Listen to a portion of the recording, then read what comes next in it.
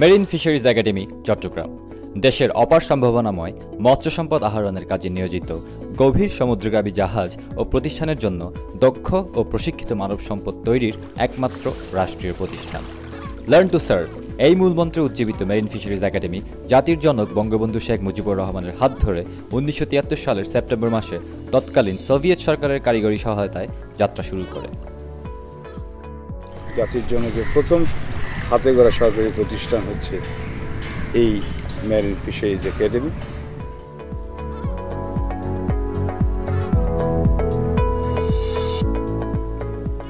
একাত্তর সালে যখন স্বাধীনতা যুদ্ধকালীন সময় কর্ণফুলী নদীতে প্রচুর মাইন স্থাপন করে প্রতিপক্ষরা, এই মাইন ক্লিয়ারেন্সের জন্য সোভিয়েত ইউনিয়ন থেকে বেশ কিছু ডুবুরি এবং উদ্ধারকারী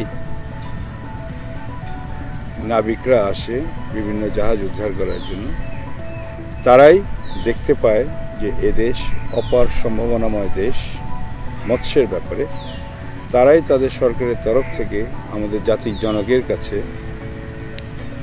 প্রস্তাবনা প্রেরণ করে যে একটি, এই দেশে একটি মাছের জন্য শিক্ষা প্রতিষ্ঠান থাকা দরকার।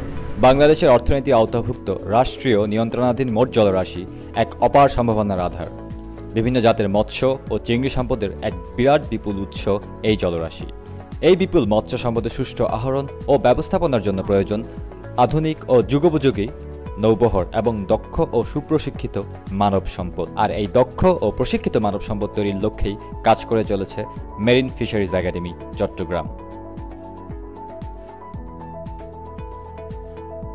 Karnaphuli নদীর দক্ষিণ তীর ঘেঁষে চট্টগ্রাম সদরঘাটের অপর পাশে এক মনোরম পরিবেশে দশ একরের বেশি জায়গার উপর গড়ে উঠেছে মেরিন ফিশারিজ একাডেমি।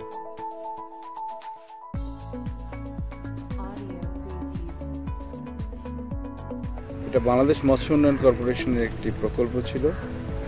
পরবর্তীতে বেশ কিছুদিন আগে এটা পূর্ণ সরকারি প্রতিষ্ঠান হিসাবে প্রতিষ্ঠিত হয়। উনিশশো তিয়াত্তর সাল থেকে উনিশশো বিরাশি সাল পর্যন্ত মেরিন ফিশারিজ একাডেমি বাংলাদেশের মৎস্য উন্নয়ন কর্পোরেশনের অধীনে ছিল। তারপর উনিশশো তিরাশি থেকে উনিশশো ছিয়াশি সাল পর্যন্ত একাডেমির সমস্ত কার্যক্রম পরিচালিত হয় নৌপরিবহন মন্ত্রণালয়ের অধীনে। পরবর্তীতে উনিশশো অষ্টআশি সালে মৎস্য উন্নয়ন কর্পোরেশনের হাত ধরে প্রতিষ্ঠানটির দায়িত্ব ন্যস্ত হয় বাংলাদেশ মৎস্য ও প্রাণী সম্পদ মন্ত্রণালয়ের হাতে।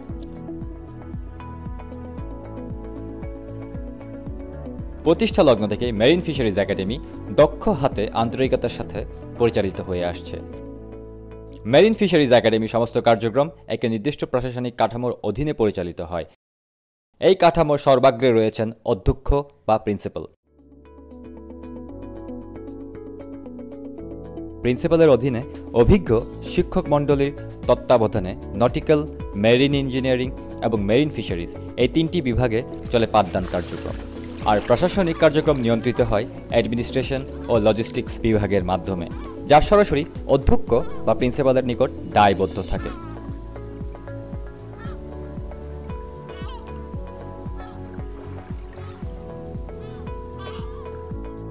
একাডেমিতে তিনটি বিভাগ আছে, একটা নটিক্যাল, একটা ইঞ্জিনিয়ারিং, আর একটা ফিশ প্রসেসিং। তিন বিভাগে ছেলে মেয়ে সহ নব্বই জন ভর্তি হতে পারে। তার মধ্যে পঁয়ত্রিশ জন নটিক্যাল বিভাগে, পঁয়ত্রিশ জন ইঞ্জিনিয়ারিং বিভাগে এবং বিশ জন ফিশ প্রসেসিং বিভাগে। মেরিন ফিশারিজ একাডেমিতে ক্যাডেটদের তিন বছর মেয়াদী শিক্ষা কার্যক্রম পরিচালিত হয়। প্রতি বছরের সিলেবাস জাতীয় বিশ্ববিদ্যালয় কর্তৃক অনুমোদিত, স্বীকৃত এবং অধিভুক্ত এবং নটিক্যাল ও মেরিন ইঞ্জিনিয়ারিংয়ের প্রশিক্ষণ কার্যক্রম S T C W seventy eight ও S T C W ninety five অনুযায়ী প্রণীত। এছাড়াও দ্বিতীয় ও তৃতীয় বর্ষে সমুদ্রে অভিজ্ঞতা অর্জন এবং প্রশিক্ষণের উদ্দেশ্যে ক্যাডেটদের বারো সপ্তাহের ফিশিং ভেসেলে গমন করতে হয়। ক্যাডেট হিসেবে তিন বছর সার্থকভাবে সমাপ্তির পর তারা জাতীয় বিশ্ববিদ্যালয়ের অধীনে গ্র্যাজুয়েশন লাভ করে।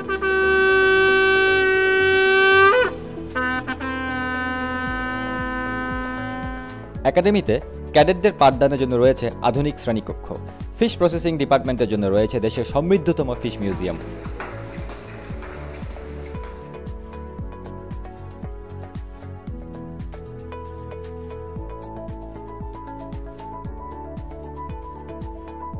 এছাড়াও রয়েছে marine workshop IT lab physics laboratory general geology laboratory biochemistry laboratory navigation chart room engineering drawing room ইত্যাদি। ইঞ্জিনিয়ারিং ক্যাডেটদের জন্য রয়েছে মেরিন ওয়ার্কশপ নটিক্যাল ক্যাডেটদের জন্য রয়েছে নেভিগেশন সিমুলেটর ও নেভিগেশন মডেল রুম এছাড়াও ক্যাডেটদের আবাসনের জন্য রয়েছে male cadet hostel female cadet hostel ও ফরেন ক্যাডেট হোস্টেল ক্যাডেটদের স্বাস্থ্য সমস্যার প্রাথমিক সমাধানের জন্য রয়েছে মিনি হসপিটাল পড়াশোনার পাশাপাশি ক্যাডেটদের বিনোদন ও খেলাধুলার জন্য রয়েছে আলাদা আলাদা recreation room sports room football মাঠ basketball court volleyball court handball court ইত্যাদি। মেরিন ফিশারিজ একাডেমিতে ক্যাডেটরা পড়াশোনার পাশাপাশি কঠোর, শৃঙ্খলাবোধ ও নিয়মানুবর্তিতার শিক্ষা লাভ করে, যা তাদের করে তোলে আরও সুশৃঙ্খল, নির্ভীক, আত্মপ্রত্যয়ী এবং প্রতিভাদীপ্ত। সপ্তাহের প্রতিটি কর্মদিবসে মেরিন ফিশারিজ একাডেমির ক্যাডেটদের দিন শুরু হয় একাডেমির সুবৃহৎ প্যারেড গ্রাউন্ডে শরীরচর্চায় অংশগ্রহণের মধ্য দিয়ে।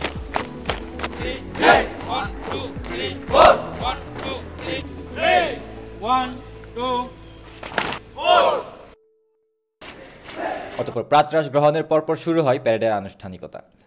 প্যারেড গ্রাউন্ডে ক্যাডেটদের উপস্থিতির দৃপ্ত ভঙ্গিমায় আগামী দিনে তাদের একদল যোগ্য, দক্ষ, বলিষ্ঠ নেতৃত্ব ও সৎ ব্যক্তিত্বের অধিকারী জনশক্তি হয়ে ওঠার ইঙ্গিত স্পষ্ট। যা বিগত তেতাল্লিশ বছর যাবৎ অনেক সীমাবদ্ধতার মাঝেও মেরিন ফিশারিজ একাডেমি জাতিকে উপহার দিয়ে আসছে। Sơn Đà Lạt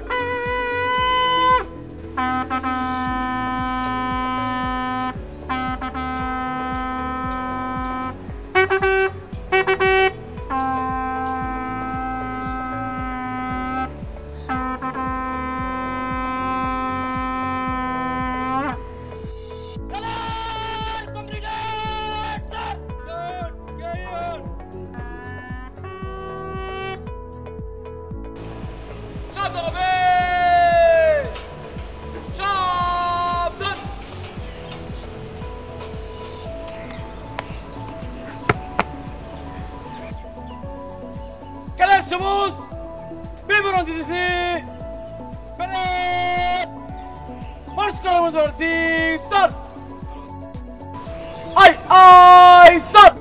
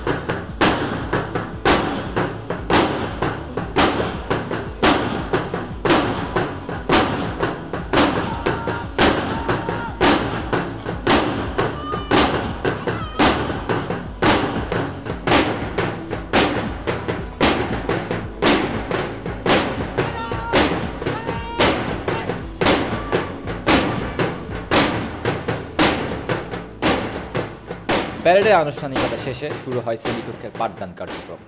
একাডেমিতে ক্যাডেটদের প্রতি মুহূর্তে শৃঙ্খলা ও কঠোর নিয়মানুবর্তিতা অনুশীলন করতে হয়। তাই আহার, নিদ্রা, বিশ্রাম, বিনোদন কিংবা খেলাধুলায় সবকিছুই এখানে একটি আনুষ্ঠানিকতা। ক্যাডেটদের শারীরিক ও মানসিক স্বাস্থ্যের দিকে একাডেমি প্রশাসনের থাকে সজাগ দৃষ্টি। তাই সারাদিনের কর্মব্যস্ততার পর অপরাহ্নে খেলাধুলায় অংশগ্রহণ করা ক্যাডেটদের জন্য বাধ্যতামূলক। আর তাই মেরিন ফিশারিজ একাডেমিতে ক্যাডেটদের জন্য রয়েছে ইনডোর ও আউটডোর গেমসের অবস্থা দিনের সূর্যটা যখন পাটে যায়, মেরিন ফিশারিজ একাডেমির ক্যাডেটরাও তখন পাঠ্যপুস্তক খাতে যেন এক ধ্যানমগ্ন ঋষি।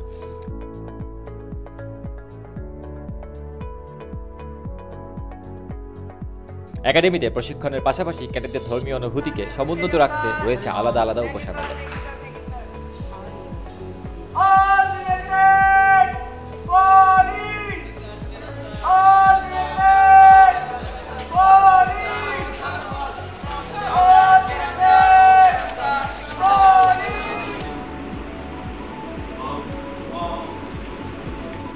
এভাবেই শৃঙ্খলাবোধ, নিয়মানুবর্তিতা ও কঠোর প্রশিক্ষণের মধ্য দিয়ে শেষ হয় একাডেমি ক্যাডেটদের তিন বছরের শিক্ষা জীবন, যার সনদপত্র ক্যাডেটদের হাতে তুলে দেওয়া হয় গ্র্যাজুয়েশন প্যারেডের বিশেষ আনুষ্ঠানিকতার মধ্য দিয়ে।